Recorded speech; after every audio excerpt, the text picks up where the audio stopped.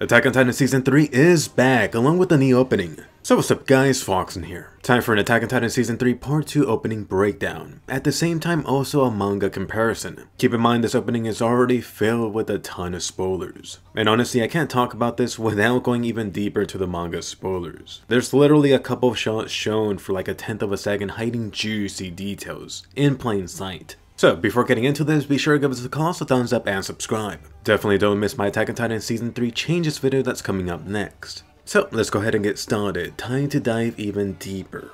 Before actually getting into the shot-by-shot -shot breakdown, you'll notice this hole in the opening does have this green tint or filter, and also various splashes of this rainbow color. So first off, let me address the green filter. This is often applied to media just to give this feeling of dread. In other words, to make you feel uneasy, which is very suitable for this new season. As for the rainbow color, take your pick, that's either unicorn blood or anime vomit. Either or. Alright, so first off we have the nuke going off. This of course being the Colossal Titan transformation, in other words the Colossal nuke. There seems to be an interesting change from the actual manga panel. Instead of this being a random house with a nuke in the background, they specifically are showing Eren's crushed home, which is a nice touch. I've also heard that they brought up the special animator known for doing explosions, so this should be fun. You might be able to see this in like episode 4 or 5.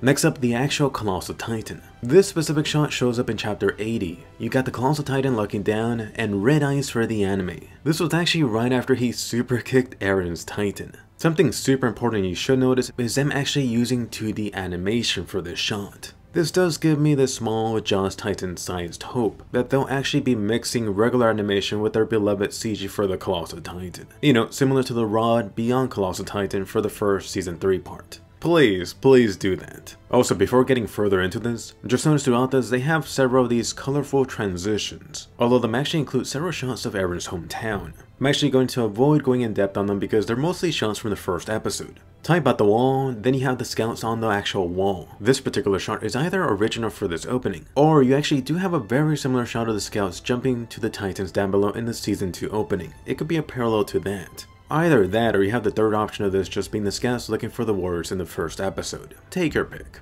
Next up, Levi just being badass and drawing his blade out in slow motion. This could be so many various shots of Levi from chapter 79. It's right before the Beast Titan practices baseball shots. Next up, some of the warrior equipment on the ground, specifically that coffee grinder. You actually got to see Armin examine this in detail in the Attack on Titan Season 3 Part 2 first episode. Next up, some of the scouts, Mr. Horus, Sasha, Armin, and Mikasa. Although these guys have the Thunder Spears in hand. This is definitely when the scouts were watching the Armor Titan versus Eren's Titan, just ready to pounce in. Next up, the Beast Titan Zeke, Reiner, and Bert on top of the wall. If you recall, these guys were actually camping for quite a good while on top of here, just waiting for Eren. The War Chief Zeke here must be giving them a good story time. Next up, the super ultra amazing CG Colossal Titan just throwing up the blazing houses. Of course, this is a little after the Colossal Titan nuke. At this point in the manga, the Colossal Titan was really just trying to destroy everything. Next up, Eren's Crystal Titan Fist. This was Eren just about to get his Titan Crystal Knuckles to smash Reiner's ass. So yes, this is quite the giveaway, and they also kind of already gave it away on the poster. Next up, the Beast Titan Army, them doing their Titan transformation. Something like this actually already happened in the first episode, but looks like the actual Titan transformation is original for the opening. Next up, the Beast Titan's baseball throw. This is the Beast Titan after crushing those rocks to increase their effectiveness. I don't know why, but they also spliced in the Beast Titan throwing the boulder for like half a second. Considering the episode 4 is titled Perfect Game, expect this in a few weeks. Then, on the receiving end, you have a ton of scouts getting shredded by the incoming Beast Titan surprise. I'm calling it now, I expect this to at least be partially censored. And here's also hoping that I'm proven wrong. Next up, Erwin's suicidal charge with the scouts. Looks like Erwin is right in front leading his troops. Also looks like they give him a white horse just so Erwin stands out even more. I think everyone that's read the manga is definitely waiting for this pretty impactful episode. And goddammit, first endgame and now this in a few weeks. I kinda wish they didn't give this away in the opening. Next up, Eren versus the Armored Titan. Now that Eren's Titan is all nice and hard, he could fully weaponize the Titan Crystal to penetrate Reiner's face. That should be coming up next episode. On top of this, I'm loving the sparkle shiny effect thrown in for the crystal shattering his faceplates. Then you got the reverse side showing the smash from the opposite far angle. I do like the added impact shot of it, it looks so devastating. I wonder if they'll keep the slow motion effect for the actual episode. Next up, the scouts and their thunder spears. Yeah, Mr. Horseface, Connie, the Potato Girl Sasha, all using Hanji's new toys. Of course, all of these are trying to blast open the Armor Titan shell. It looks like the Wit Studio is really emphasizing the light explosion visuals here. Like I mentioned earlier, supposedly they did bring on that famous animator known for explosion animations. Hopefully you see that in action with the Thunder Spears. Talk about the Thunder Spears, next up is Mikasa. Interesting that they're showing Mikasa after the other guys. You would think it would be the other way around. So pretty much the same thing, this should be coming in the third episode. They may even hint at it in the next episode. Next up, the Nintendo 64 CG Colossal Titan. You got the scouts armed with the Thunder Spears in the air. This whole scene actually happens a little bit later in chapter 80, so maybe episode 5 or 6. At this point in time, the Armor Titan should have already gone down. I still am hoping that they fix the CG, or at least don't show the bad CG for too long. Next up, Levi approaching the Beast Titan, also known as Levi versus the Beast Titan. So yes, they've already flashed this scene in front of your eyes. I know a ton of people are hyped to see this Levi sushi scene in the anime, and I'm definitely included. Although, let's be honest, you can hardly call this a fight. It's pretty much an Ackerman slaughter. I'm almost feeling bad for the Beast Titan. Next up, Hanji all bloody. Very notably, they're showing the side of her face not to show her damaged eye. This should be a brief flashback of Hanji after the Colossal Titan nuke. At this point, she should be coming out of the well and seeing the whole destruction. Not to mention, Moblit missing.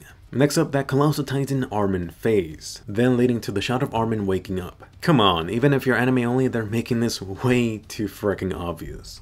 And look at this major thing that they're throwing right in front of your face. Literally, for one frame you see a barbecued Armin's face.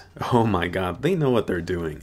Next up, the back of the Armor Titan getting Thunder Speared. This should be after the Armor Titan's eyes got blasted off. Notice right here that it is easier to see that trigger mechanism in the anime version. Once again, you should see this around episode 3 since it's called Thunder Spears. That's gonna be so much fun. Next up, this dedicate your heart moment. You got the Beast Titan plus the army plus the horses and soldiers having this glowing heart. This is definitely a callback to them doing the symbolic gesture in the season 2 opening.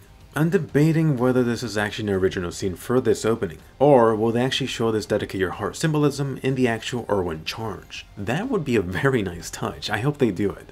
Next up, the Titan Syringe. This right here is definitely Levi and Eren's hand on it. Of course, at this moment, you should have the dying Erwin and Armin nearby. Then you got Eren's face, looking so pissed off. And no surprise too, this guy just wants to save his dying buddy Armin. Of course, you got a very nice tease of this months back. So yeah, I'm betting that they got done with this whole scene already. Next up, some Titan history with that Devil and Ymir. Presumably that art shot from the season 2 ending. Next up, the blimp shown for a fraction of a second.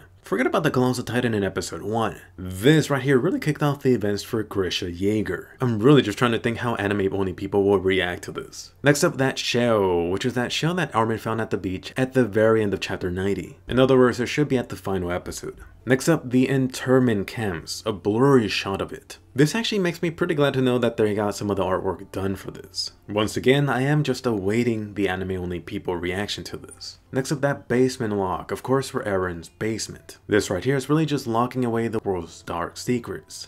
Kinky Titan porn. Next up, a bunch of Colossal Titans. This scene of course being from the season 2 ending. Next up, a bloody looking Erwin shot. This was actually from chapter 80 when Erwin was recalling back to the past fallen scouts. Ultimately, this led to Erwin's motivation to continue dedicating his own heart. Next up, that puddle being stepped on. At first, I thought this was a season 3 ending with Historia, but actually it's not. It looks similar, but not exactly the same scene. This slight difference may just show Historia's growth.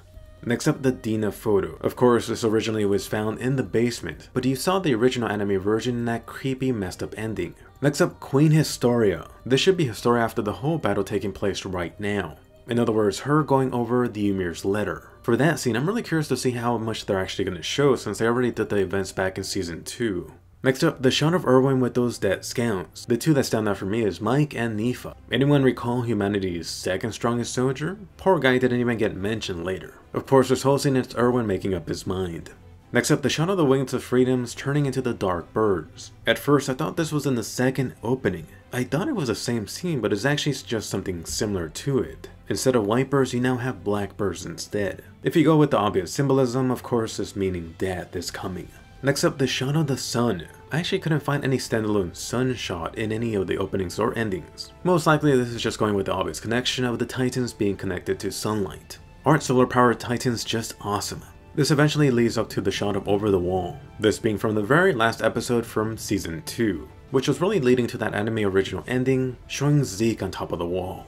Next up, the shot of the desert. This desert being the one that Armin referenced once, which greatly influenced Eren, and of course you have deserts existing outside of the walls. Then overlaid on this desert shot is a quick combo of everything just shown before, only in reverse, extremely quickly. Finally, you have the basement. If you actually go by the reverse shot of the previous events, ultimately this all leads back to the basement, pretty much since the first few episodes. This basement shot is from chapter 85, so maybe I'll see it in episode 7 or 8 for the anime.